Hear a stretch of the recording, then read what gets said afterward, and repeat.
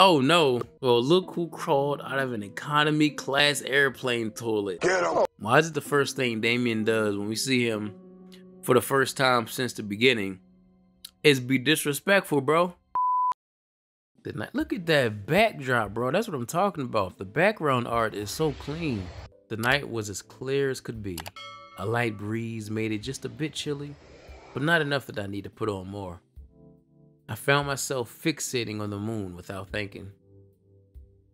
I thought I'd find your cat. Kat, come join me. You're now joining me in the chill hours, the night hours, the hours of peace and relaxation. Who knew that three dates were all you needed to figure out if a marriage would last? It's not. If this TV gig doesn't work out, maybe I should become a marriage counselor. Hmm. Anyway, I'd love to stay and chat, but I've got to get some work done tonight to prep for the ending of the show. You know what? I could use some company. It's not like you were up to anything, Kat. Groovy, baby. Only invite me up there with you if you're trying to break me off of. We in a library. Now you're probably wondering, why did I bring you here of all places? You like to read? Well, yes, but no. There's no internet for us goons, so here's where we store most of our information. Records of every single run of the show, building and security details, guard schedules, and most importantly, salary records. It's hidden in plain sight as regular books. Well, you see, I have this lovely chair and table here that I do so love to work on. And it's truly, truly exhausting for me to get up from this lovely arrangement to have to fetch each book I need to reference. So, you want me to grab your books for you so you can just stay here? I'm so glad you understand. And you know, I'm doing everything I can to keep you alive, and it's just a teeny tiny favor. I couldn't help but laugh at her mock pout. Sure, Kat, it's the least I could do. Great! Alright, to start, I need you to grab me the Princess of Alvaranda. I feel like I butchered that. A few moments later. And that's a wrap. Thanks for the help, Funny. I'll send you a thank you card for when you're off this island or something. At that rate, that was pretty much slave labor. I like to think of it as more of unpaid charity work. You've got one last date tomorrow. Don't mess it up. I'm curious, what's the first thing you're gonna do when you're out of here? Honestly, I'm not sure. Maybe try to figure out what my life was before. Who knows? Well, I gotta get back to editing. Night, funny. See you, Kat. Guess I'll head back to my room and call it a night. Hey. Hey. Listen to the. Oh. The alarms were deafening. We planned for every possibility we could, but it wasn't enough. Damn! We made it to the ship, but it still wasn't enough. Our one saving grace, the ship, wouldn't start. Someone tampered with it, and there's no time to fix it. That's. That's it then. I couldn't find the words to say. I love you. I wish we could have met anywhere but here. She held me in her arms with the last of her strength. All that's left to do is wait. Goodbye, love. Oh, sh! Ooh! Woo! Woo! Wasn't ready for it. Wasn't ready for it. Here's the thing. If that person was the soulmate that I had, that we've, um, that I had the final day and proposed and all that good stuff, got married. If that's who that was, and the show was over, why would they not let us leave? But then Damien said earlier that he cut off internet so spoilers wouldn't get out. But also, if you win the game and you leave, it's not like he's just gonna let you go around telling people, oh, I was kidnapped and put on this island. And basically, you know, if I didn't get a girl, they would kill me. You know, and stuff like that. Like, so I don't know how he would handle that. That's why I feel like he grabs people. Who knows how many times we've done this game over and over again, bruh. It's probably like the fifth season with the same people. Oh no. Well, look who crawled out of an economy class airplane toilet. Get him. Why is it the first thing Damien does when we see him for the first time since the beginning? Is be disrespectful, bro. Come on, Shun. I'm doing you a favor. Good morning to you too, Damien. Funny.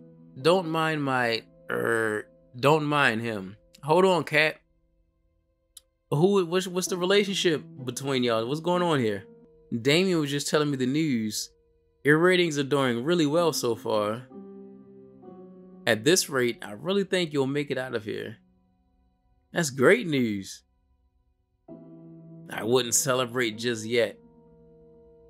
Just because you've done well till now doesn't mean you won't jump the shark today. Your ratings today need to be higher than they've ever been, or you'll get axed. Axed literally if I'm around when your number's up. I guess we'll find that out together, won't we? Later.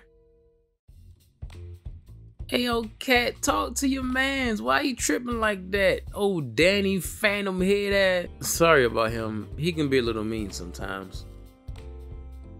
A murder threat is a little mean. Anyway, you ready for your last date with Scarlett? It's just this last date, then tomorrow it'll be the final ceremony. I'm ready as I'll ever be. Fantastic.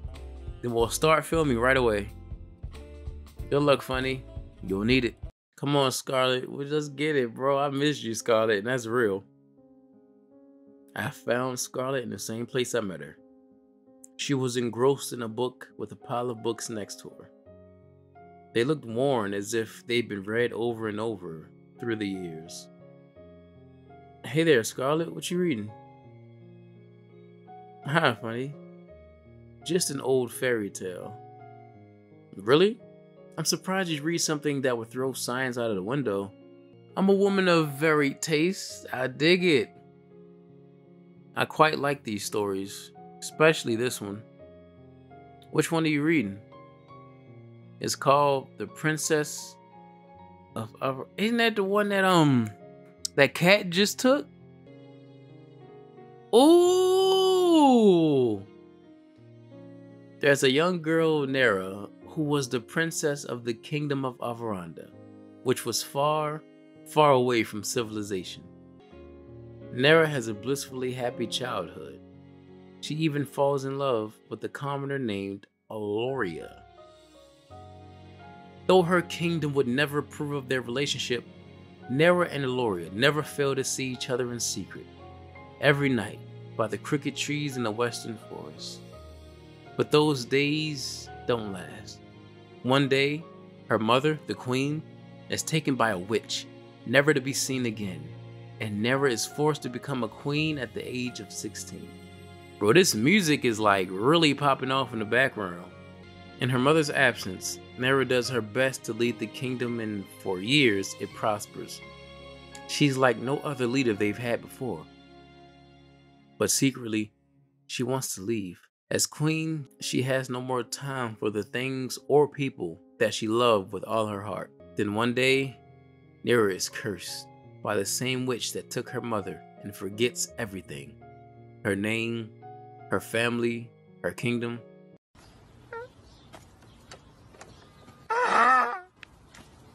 And so she leaves, and no one in the village ever sees her again. I won't bore you with the rest of the story, but thanks for listening till now. Oh, come on. Believe me, Scarlett. Mm. In anger, Nera confronts the witch on the border of Avaranda. The witch takes off her cowl, revealing herself to be Nera's mother, the Lost Queen. Whoa, that's a twist and a half, ain't it? So the mother faked gone missing, you know, disguised herself as the witch. Nera's mother gives her an ultimatum. She can return to ruling the kingdom, but she can never leave again, or she can leave now and never come back. And that's where the story ends. You never get to know what choice Nera makes. I'm curious, what would you do in Nera's shoes? So it's like you either stay and rule but can never leave, or you leave and never come back. But here's my the thing is, like, it's not like she left the village because she was unhappy and was like, I, I have to see what the rest of the world is like. She had no memories. Like, she would have stayed there and lived in the village with her people because that's, you know, what her life was, what it was supposed to be. So, yeah, stay. Oh, but wait a minute now. Never being able to leave, I'd stay in the kingdom.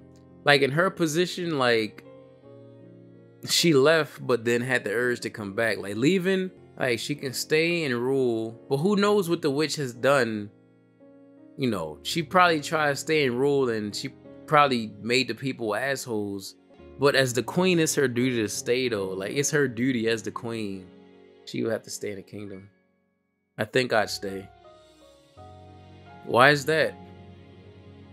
I mean, I can't just let my people suffer like that. But I would never let Eloria go. I'd find a way to make it work. You're a real romantic, aren't you? I've loved this story ever since I lost my memories. I'm sure I don't have a kingdom or anything, but sometimes you wonder, you know? Yeah, I get the same feeling too. That's just life, you know? You just have to keep moving forward. Yeah, you're right. I'm really happy you're the one I get to move forward with, buddy. Me too, Scarlett. There's no one else I'd rather be with right here, right now. And speaking of right now, there's somewhere I want to bring you. Where's that? I give you a hint. I've been thinking about this place ever since you mentioned that you love fairy tales. Oh, look at this. What?